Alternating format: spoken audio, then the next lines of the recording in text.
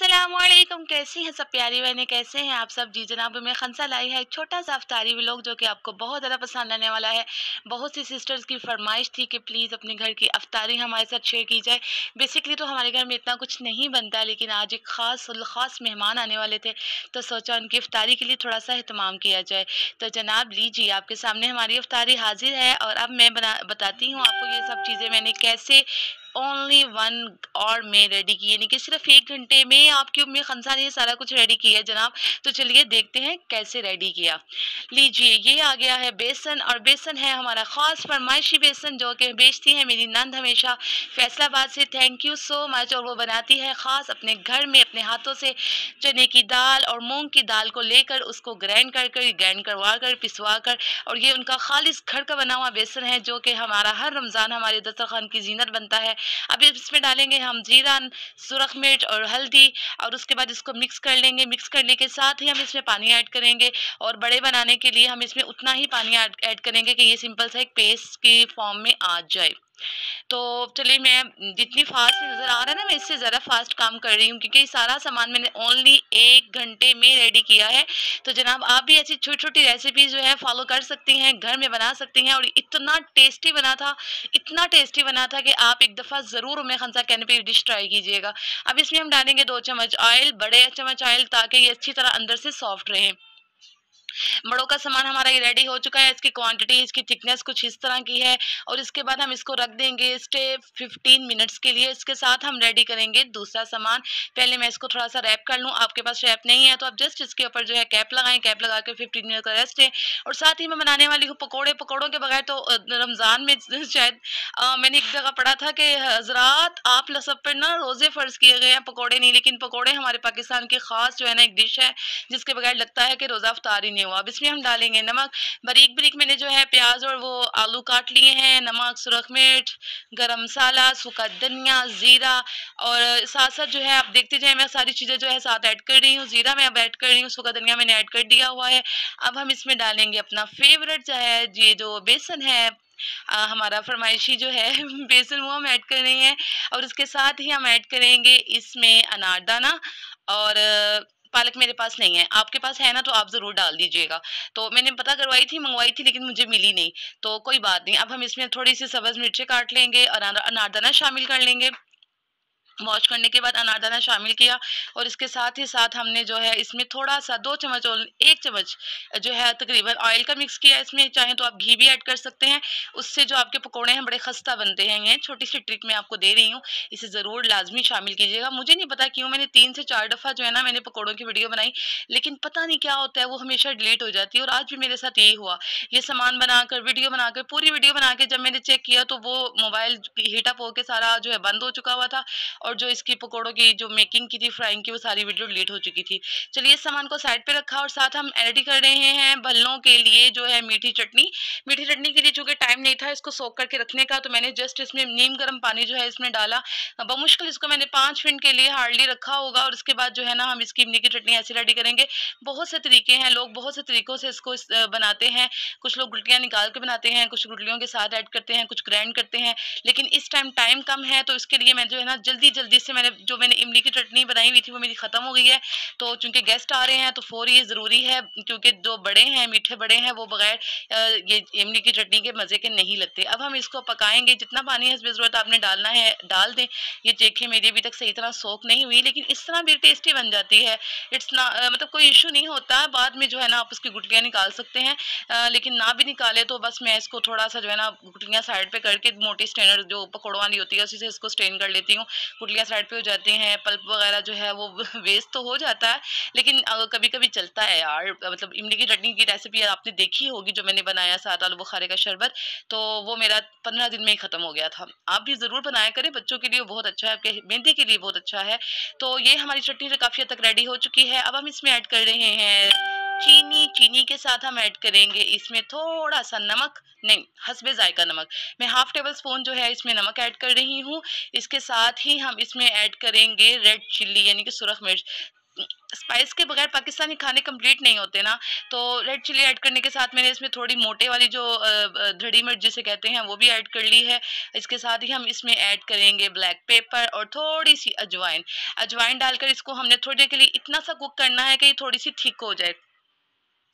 Four fifteen तकरीबन हो चुके हुए हैं। लाइट हमारी जो है वो भाग चुकी हुई है, लेकिन थैंक गॉड कि जो है ना ये गैस हमारी फुल आ रही है। तो ये देखिए, ये हमारी जो चटनी है, वो तकरीबन काफ़ी हद तक गाढ़ी होना शुरू हो गई है इसको। मुश्किल जो है ना हार्डली हम फिफ्टीन और ट्वेंटी मिनट्स जो है ना तो कुक करेंगे और साथ साथ हम कोई और काम कर लेंगे। इसके साथ साथ मैं फ्रूट्स कटिंग कर रही हूँ और ये देखिए हमारी जो चटनी है तकरीबन टेन मिनट्स का हम इसको स्टे देंगे। हल्की आँच पे बनाए तो ये बहुत टेस्टी बनती है, लेकिन इस टाइम मैंने आपको बताया ना गेस्ट आ रहे हैं और जल्दी है, इसलिए मैंने इसके ऊपर कैप लगाया, वरना आप इसको रख के भूल जाया करेंगे। बहुत ही गाढ़ी, बड़ी टेस्टी थिक सी बनती है। अभी मैं इसको अगर निकालूँगी ना शीशे के बाउल में निकालने से पहले एक बात का ख्याल रखा करें कि शीशे के बाउल में अगर कोई भी आप चम्मच वगैरह रख के फिर कोई गर्म चीज़ डालती हैं तो आपका शीशे का बर्तन कभी भी क्रैक नहीं होता, क्योंकि मैं बहुत बर्तन तोड़ चुकी हूँ। तो मैंने सोचा मैं आप लोगों को बता दूँ, मेरा जग टूट चुका है, मेरे तीन बाउल टूट चुके हैं डिशेज टूट चुकी हैं गर्म गर्म चीज़ें डालने की वजह से कॉफ़ी कप टूट चुके हुए हैं।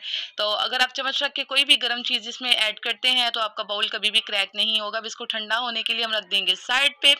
और अब हम बनाते हैं वही बड़ों का सामान जो हमने 15 मिनट्स का इसको रेस्ट दिया हुआ था। साथ ही हम चलाएँगे आग। आग लगाने के तो वैसे ही कुछ लोग बड़े माहिर होते हैं, लेकिन कोई बात नहीं, अभी रमज़ान है तो हम इस टॉपिक को ज़रा स्किप करते हैं। अब इस हम डालते हैं थोड़ा सा मीठा सोडा। मीठे सोडे के बगैर ये कभी भी नहीं फूलेंगे। फूल अगर इतना ज़्यादा मीठा सोडा डालेंगे, इससे बहुत जल्दी, बहुत ज़्यादा फ्लफी से फूल, फूले से बनते हैं। वो भी अच्छे नहीं लगते, बहुत कम डालें, उससे ज़्यादा हार्ड बनते हैं, वो भी अच्छे नहीं लगते। तो मैंने ये जो है डेढ़ कप बेसन में मैंने हाफ़ टेबल स्पून से थोड़ा सा कम जो है ना, ये मैंने मीठा सोडा डाला है।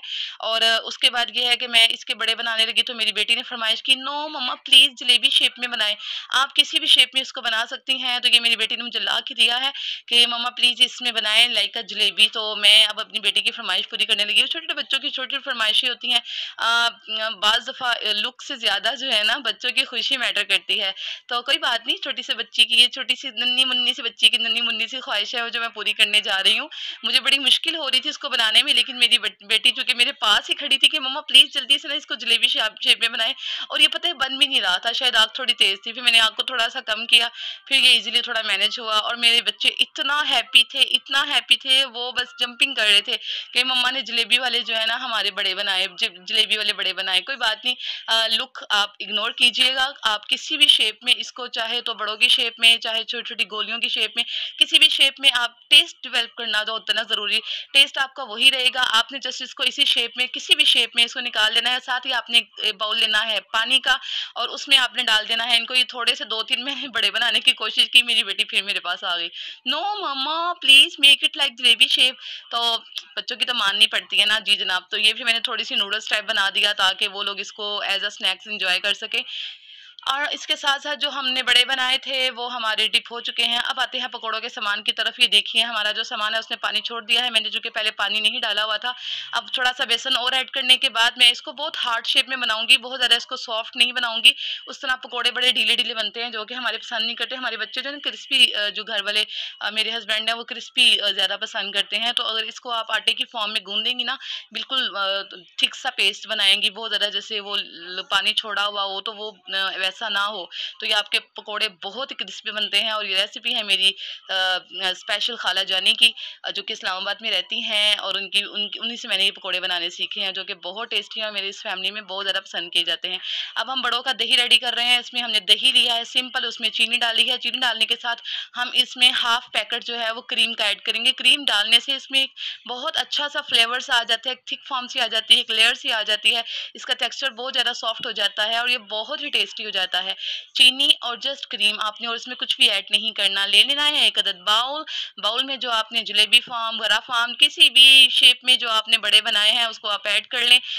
और मतलब इग्नोर द लुक मेरी टिंगी पर जलेबियों को तो थोड़ा सा ना इग्नोर कर दे, कोई मसला नहीं है। थोड़े से आपकी फरमाइश के लिए मैंने थोड़े से बड़े भी बना दिए और जलेबियाँ मिक्स भी कर दी, जो कि बनने के बाद कुछ इस शेप की और फूलने के बाद कुछ इस शेप की बन गई थी। खैर एनीवेज इग्नोर द मेस और इसमें जो है, इसके बाद हमने उसके ऊपर से दही डाल दिया। दही डालने के बाद एक बात का आपने खास ख्याल रखना है कि इसको रखना है डीप फ्रीजर में ताकि ये अच्छे से चिल हों अगर ये बहुत ज़्यादा ठंडे नहीं होंगे तो टेस्टी नहीं लगेंगे। अब इसके ऊपर डालेंगे वही इमली की चटनी। मेरी थोड़ी सी गर्म है, वरना मैंने प्यारे प्यारे फूल बूटे बनाने थे, लेकिन चलो मैं बार बार कह रही हूँ नोट द बेस्ट क्योंकि मैंने सारी तैयारी सिर्फ़ एक घंटे में की है और बड़ी मैंने स्पीड से ये सारा काम किया है। देखिए आपकी उम्मी खनसा कितनी टैलेंटेड है। तो जी जनाब, अब इसमें थोड़े से मैंने फूल बूटे बनाने की नाकाम कोशिश की। उसके बाद हमने इसके ऊपर जो चाट मसाला स्प्रिंकल किया। चाट मसाला स्प्रिंकल करते करते मेरे माइंड में एक ज़बरदस्त किस्म का आइडिया आया कि मैंने सोचा ऊपर डेकोरेशन के बजाय मैं उम्मे खनसा इरफान, यानी कि अपने चैनल का नेम लिखती हूँ यू एम लिखना फिर मुझे याद आया कि उम्मे खनसा इरफान तो पूरा नहीं आएगा। और इतना बड़ा बड़ा फिर मैंने उसको एम को स्किप किया के लिखा, उम्मे खनसा इरफान यू के आए।